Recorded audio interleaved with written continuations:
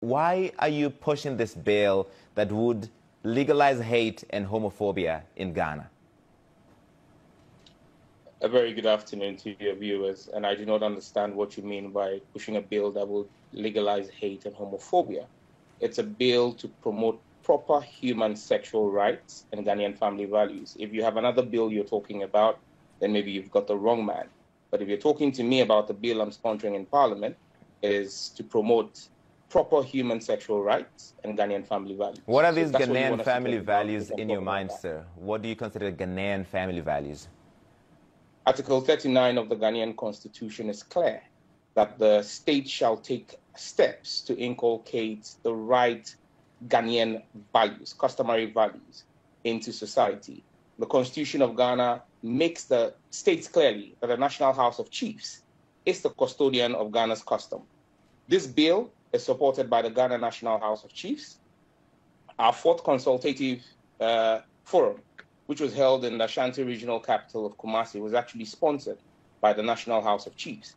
And the president of the National House of Chiefs spoke extensively at that conference where Ghanaian culture forbids homosexuality. And so Ghanaian these, culture. These members of the LGBT community, community we're speaking to sir, are also Ghanaians. They're also Ghanaian. They are part of Ghanaian culture. And they're saying they're gay, they're transsexual, they're bisexual. They are also Ghanaians. Some of the individuals who were involved in planning terror attacks in America are American citizens. Is it American culture to kill people? That's a false. That's a that, that's not the same comparison. But what I want to focus on here is it's not the same comparison. You are telling me that because we have people who are carrying out an activity that is illegal per our laws already, and our culture frowns on it because they are found in our jurisdiction. That is our culture. There is were many American things that were illegal that are unjust. children and teachers. Honorable MP, there are many things that were illegal that were unjust, and those laws were changed because they are unjust. Well, laws are a reflection of society. Until 1960, American society did not find women fit to vote. And so women did not vote there. When they found them fit and to so vote, society evolved. Society evolves. At this point in time, the Ghanaian society is in a position where it says it is not welcoming of homosexuality. And any other person must respect the views of Ghanaian society. The CDD, which is a, a, a far right uh, uh, uh, a liberal think tank here in Ghana, carried out research which was published on the 1st of July. In fact, the academics who have uh, sent in a memo against this bill have two of their fellows, the CDD's fellows in there, the Center for, the, for, for, for Democracy in Ghana, Democratic Development. They, they've been clear. Ghanaians are 97% tolerant of Ghanaians of different ethnicity, 94% tolerant of people of different religion, 91% tolerant of persons of different political persuasions, 71% tolerant of migrants and foreigners, but only 7% tolerant of homosexuality. That is the system, that is the society of Ghana. What's your reaction to the members of, of the LGBT community, sir, that we've been speaking to who tell us they're afraid for their lives when this bill passes, if this bill passes, that they're afraid, they're afraid to even leave their homes? Well, anybody who is engaged in an illegal activity should be afraid of the law, shouldn't you? Then there will be no essence of law. But let's be clear about this. The United States in 2021 remains the most dangerous place for homosexuals. As of June 2021, an independent story, a, a, a story run by the Independent. Sir, the independent this is not about the United States. This is about Ghana. This is about Ghana. Homicide no, no, this no. is this is about Ghana, so I want to focus on Ghana, sir. Hang on, hang on. Let me let me let me ask the question. Let me, I'm, I'm let me ask you the question, sir. This is about Ghana. You are, as part of this bill, legalizing conversion therapy, which UN experts consider torture. Do you believe that homosexuality can be medically treated? Well, tell me how individuals who are born men and decide to become women that's not an answer. Do you believe that people can be cured of homosexuality by some sort of treatment? I, I apologize. We appear to have lost uh, the MP, Sam George. Uh, the connection is not that great. If he, if we can uh, reestablish that, we'll try and come back to him. And before you, we lost you. We were talking about conversion therapy, which is considered torture, and your bill would legalize that. Do you want to torture people in the name of curing homosexuality? I was making the point that the individuals who decide to become transgender, who decide to change their sex from male to female, apart from undergoing surgery, also engage in hormonal treatment. Is that torture? Because I don't see how different hormonal treatment is from what you call conversion, conversion therapy, therapy. is not the same as conversion therapy. These are very, very different. This is a false What's equivalence you're making, sir. No, what, what's the difference? I would need for you to. to I am not. I am not a medical expert, but it's been by UN experts who look into this have con considered conversion so therapy as torture. Expert, Larry, Larry, if you're not a medical expert, and I'm saying to you that we've spoken to the experts here in Ghana, and there is nothing different because conversion therapy is a hormonal treatment. And I'm saying to you that when individuals choose on their own volition to change their sex, they undergo hormonal treatment men go and take estrogen shots to be able to develop female features. And that's the same thing. That is not the same therapy. thing. That is not the same thing. But I want to move away from that because you, you, you talked about the United States. Doctor, so you, you talked about the United States.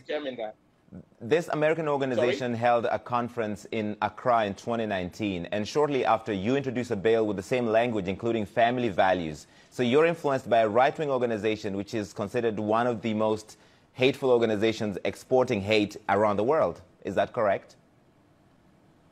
It can't be farther away from the truth. Larry, I was never, myself and none of the seven other colleagues of mine was at this conference. In fact, this conference came to my notice after the CNN's David McKenzie asked me about it.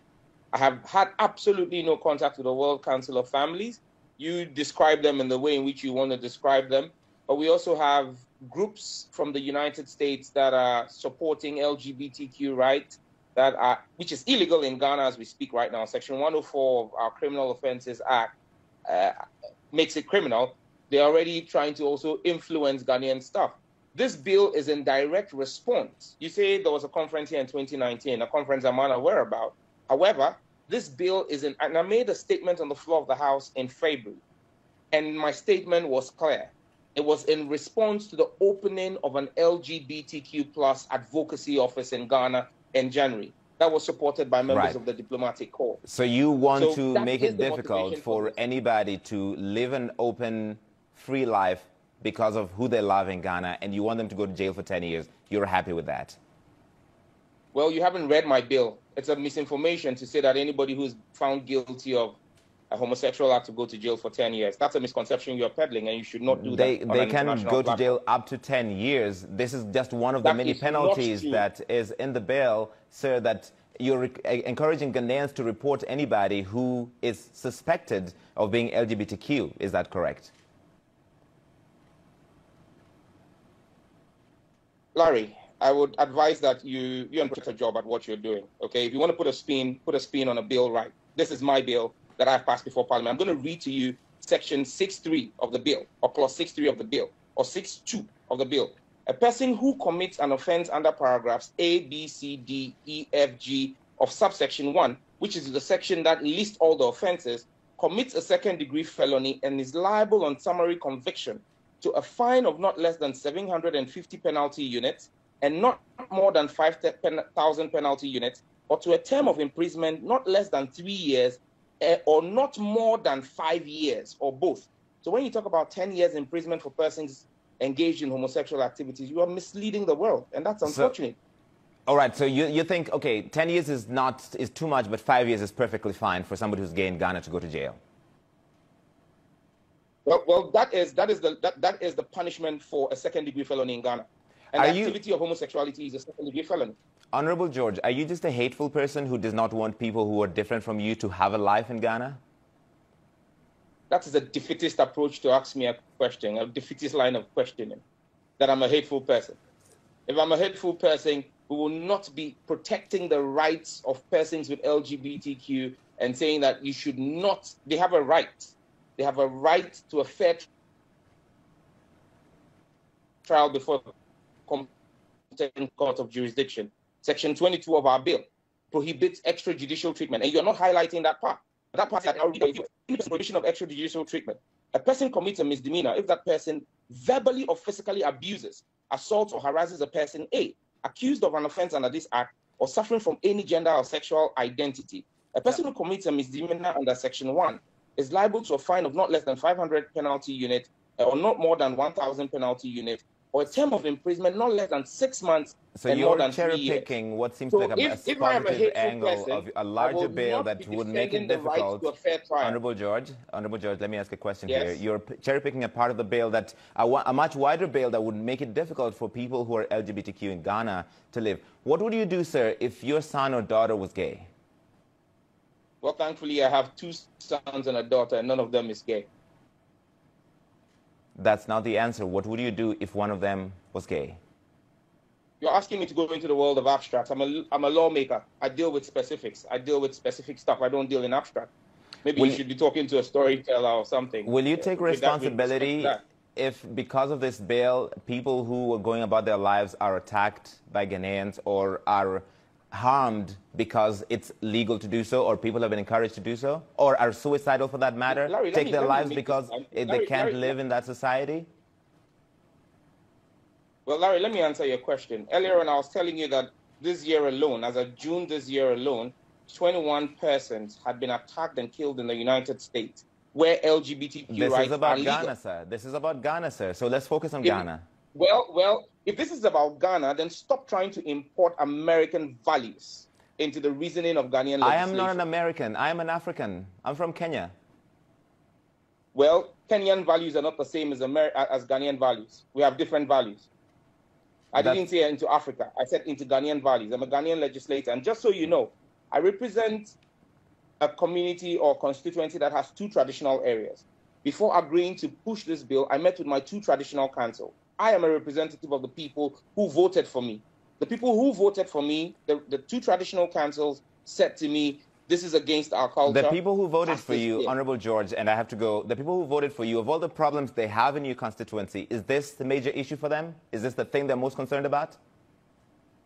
Well, this is one of the major issues for them because the government of Ghana in, two, in 2020 spent $200 million subsidizing the cost of antiretroviral drugs for persons who have HIV AIDS. The Ghana AIDS Commission is telling us that men having sex with, with men, MSMs, homosexuals, are leading the surge in, in HIV prevalence in Ghana. Two hundred right. million dollars could have fixed the water problem in my constituency. Okay, we're going to have to leave it there, um, Sam George.